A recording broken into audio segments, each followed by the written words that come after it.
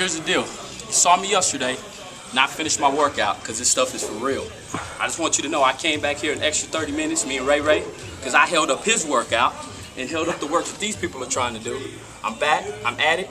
We're waiting on Rob B right now to get ready for day, this will be day four of our workout. So stay tuned, longhornstation.com.